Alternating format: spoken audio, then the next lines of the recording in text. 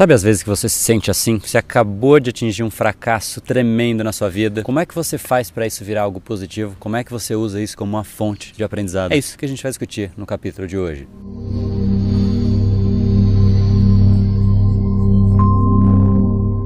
Fala pessoal, André do Brain Power, Academia Cerebral e criador do método Reprograme Seu Cérebro. E esse é mais um dos capítulos diários da série Reprograme Seu Cérebro, para você entender melhor o funcionamento dessa máquina incrível e colocá-la para funcionar a seu favor, mesmo nos momentos de maior fracasso da sua vida. E eles são tremendos momentos de aprendizado para gente, só que as pessoas simplesmente drenam a energia por conta do fracasso e perdem uma oportunidade enorme de realmente aprender, de pegar a energia negativa que está ali no seu cérebro e colocar isso para trabalhar a seu favor. E é possível fazer isso sim. A gente vai discutir quatro quatro perguntas que você efetivamente tem que fazer para você neste momento. Assim que você sentiu a dor do fracasso, você para e faz essas quatro perguntas que a gente vai discutir agora. Então, vamos lá. Primeira pergunta: você tem que parar e se perguntar efetivamente o que você fez de errado. Você tem que ter clareza absoluta do que foi feito de errado naquele momento. O simples fato dessa clareza fazer parte do seu processo cerebral, você vai começar a buscar novas alternativas, novos jeitos de fazer aquilo acontecer. É assim que a gente aprendeu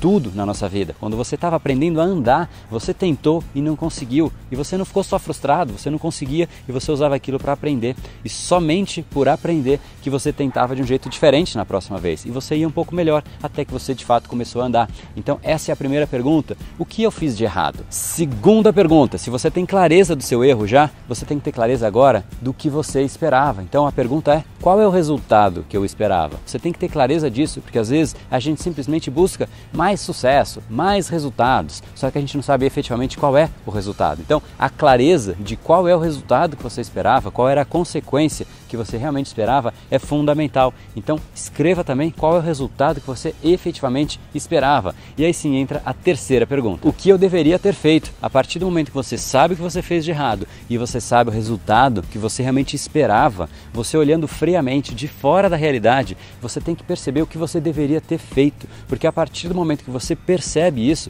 o seu cérebro passa a trabalhar aquilo como uma possibilidade. Ele vai trabalhar aquilo como um possível recurso, um possível cenário, uma possível ação da próxima vez. Se a gente não se dá conta de que a gente deveria ter feito daquele jeito, a gente não está nem consciente desse fato. E o fato de a gente estar consciente muda absolutamente tudo, porque passa a ser uma possibilidade dentro do seu circuito cerebral. Ele trata aquilo como um caminho possível, como uma escolha possível. E automaticamente existe uma probabilidade muito maior de que ele de fato escolha esse caminho caminho na próxima vez por você. As escolhas sim são nossas, mas em grande parte estão determinadas aqui dentro do nosso cérebro. Tem coisas que a gente não considera possível, então a gente simplesmente não faz porque a gente não considera como uma hipótese. Então isso é muito importante e essa é a consequência dessa terceira pergunta. E a quarta pergunta é a mais importante de todas. Você tem que ter clareza para você, por mais que seja doloroso você perceber isso, mas você tem que ter clareza de por que você não fez, porque aí você vai achar realmente onde você tem que se desenvolver. Você não fez algo porque você estava com vergonha, porque você não se sentia confortável em fazer aquilo,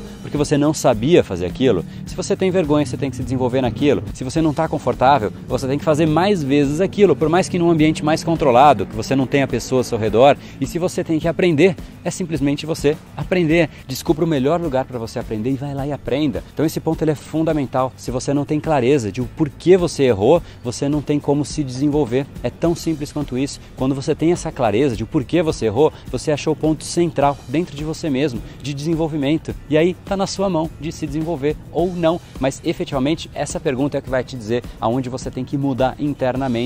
Então tudo isso é fundamental para você chegar nesta quarta pergunta. Você tem que ter clareza do resultado que você esperava, você tem que ter clareza do resultado que você esperava e você tem que ter clareza de o que você deveria ter feito. Quando essas três coisas ficam claras para você, aí sim você descobre o porquê você efetivamente não fez do jeito correto. E aí para você se desenvolver, a minha sugestão é que você comece desenvolvendo o seu cérebro, coloque ele para funcionar a seu favor. Tenha um método que suporte tudo isso, que te coloque com muito mais energia no dia a dia, que te faça procrastinar muito menos, que te permita aprender de um jeito muito mais eficiente. E para tudo isso acontecer, não deixe de se inscrever na jornada da reprogramação cerebral nesse endereço que apareceu aqui embaixo, reprogrameseucerebro.com.br e automaticamente quando a jornada começar, você vai ser notificado no seu e-mail que o primeiro vídeo está no ar. Vai ser uma semana com vários vídeos, com vários vídeos ao vivo inclusive, para você entender um pouco melhor o funcionamento do seu cérebro através de neurociência, neuroeconomia, programação neurolinguística, elementos de coaching aplicados à performance e meditação para você efetivamente ficar no controle do seu cérebro e das suas ações e também das suas emoções. Então não deixa de fazer parte, vai ser uma jornada incrível para você se desenvolver e entender melhor essa máquina poderosa que a gente tem. E se você acha que isso pode beneficiar alguma pessoa, não deixa de enviar esse vídeo para ela, sacada para ela. E se você acha que alguma coisa aconteceu, algum insight legal aconteceu para você, deixa aqui embaixo seu comentário. Adoraria ver o que você está achando desse vídeo ou dessa série como um todo. Espero mesmo aqui embaixo seu comentário. E se você quiser receber a sacada de amanhã em algum lugar aqui nessa tela, tem um botãozinho para você clicar, assinar e automaticamente você vai ser notificado do vídeo de amanhã, que eu vou te fazer uma pergunta. Será que você merece ter o que você realmente quer ter na vida? Talvez não. Então esse ponto a gente vai discutir e aí você vai ficar presente para talvez o principal ponto que trava você mesmo de se desenvolver e de ir para o próximo nível. Então não deixa de se inscrever nesse canal e automaticamente amanhã você vai ser notificado dele. E lembra disso, seu futuro começa hoje. No brain, no gain. Até lá.